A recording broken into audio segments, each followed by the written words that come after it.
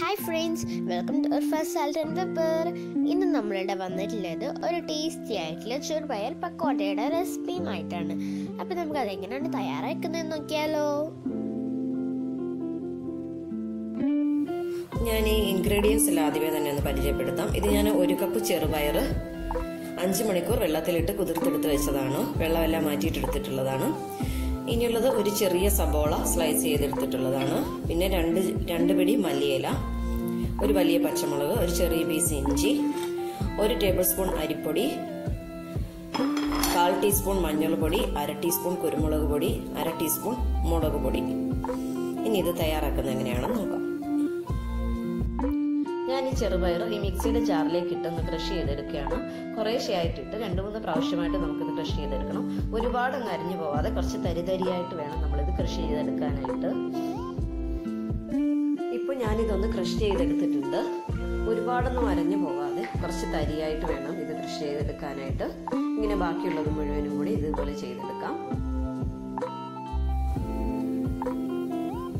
ഇപ്പൊ ഞാൻ മുഴുവൻ ചെറുപയറും ഇവിടെ അരച്ചെടുത്ത് വെച്ചിട്ടുണ്ട്. ഒട്ടും വെള്ളം ഞാൻ ഇതിലേക്ക് ഒഴിച്ചിട്ടില്ല.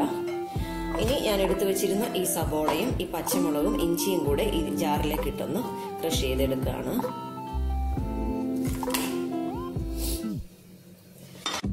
ഇഞ്ചി പച്ചമുളകും സബോളയും കൂടെ ക്രഷ് ചെയ്തെടുത്താണ്. അതും കൂടി ഈ ബൗളിലേക്ക് ആഡ് ചെയ്യാം.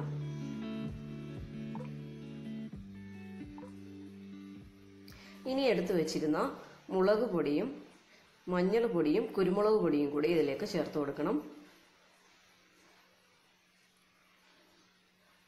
മല്ലിയില അരിഞ്ഞു വെച്ചതും കൂടി ഇതിലേക്ക് ആഡ് ചെയ്യണം. ഒരു ടേബിൾ സ്പൂൺ അരിപ്പൊടി എടുത്തു വെച്ചിട്ടുണ്ടായിരുന്നു. അതും കൂടി ഇതിലേക്ക് ചേർത്ത് കൊടുക്കാം.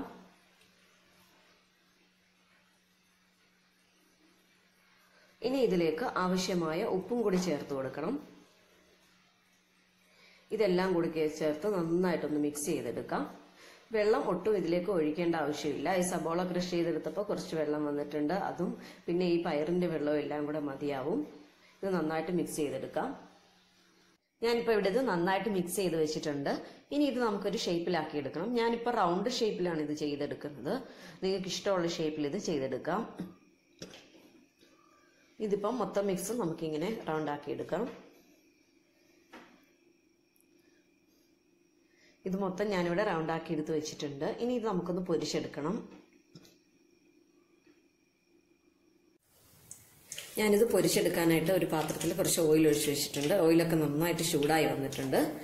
ഇനി ഇത് ഓരോന്നായിട്ട് നമുക്ക് ഇട്ട് കൊടുക്കാം. ഹൈ ഫ്ലെയിമിലാക്കി വെച്ചിട്ട് വേണം. നല്ല എണ്ണ തിളച്ച എണ്ണയിലേക്ക് വേണം ഇത് ഇട്ട് കൊടുക്കാൻ. ഇല്ലാന്നുണ്ടെങ്കിൽ ഇത് പൊട്ടിപ്പോവാൻ ചാൻസ് ഉണ്ട്.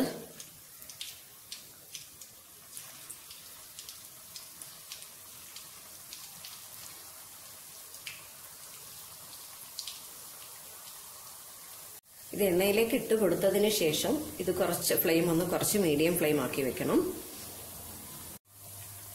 ഇതിന്റെ ഒരു സൈഡൊക്കെ ഇപ്പൊ മൂത്ത് വന്നിട്ടുണ്ട്. ഇനി ഇത് ഞാനൊന്ന് തിരിച്ചിടാൻ പോവാണ്. ഇതെല്ലാം നമുക്ക് ഇങ്ങനെ തിരിച്ചിട്ട് കൊടുക്കാം.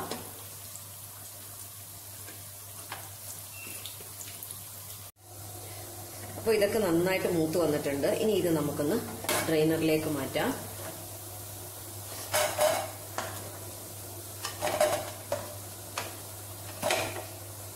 ഇനി ബാക്കിയുള്ളത് നമുക്ക് ഇതുപോലെ തന്നെ പൊരിച്ചെടുക്കണം. അങ്ങനെ നമ്മുടെ ഈസിയും ടേസ്റ്റിയുമായ ചെറുപയർ പക്കോട ഇവിടെ റെഡി ആയിട്ടുണ്ട്. എല്ലാവരും ഇതൊന്ന് ട്രൈ ചെയ്ത് നോക്കണം. നല്ല ടേസ്റ്റി ആയിട്ടുള്ള ഒരു സ്നാക്കാണ് കേട്ടോ. അതുപോലെ തന്നെ ഹെൽത്തിയുമാണിത് അതേപോലെ തന്നെ നിങ്ങൾ ഈ ചാനൽ സബ്സ്ക്രൈബ് ചെയ്തിട്ടില്ലെങ്കിൽ ഒന്ന് സബ്സ്ക്രൈബ് ചെയ്തേക്കണേ. അതുപോലെ തന്നെ തൊട്ടടുത്തുള്ള ആ ബെൽ ഐക്കൺ കൂടി ഒന്ന് പ്രസ് ചെയ്തേക്കണേ. Take care bye see you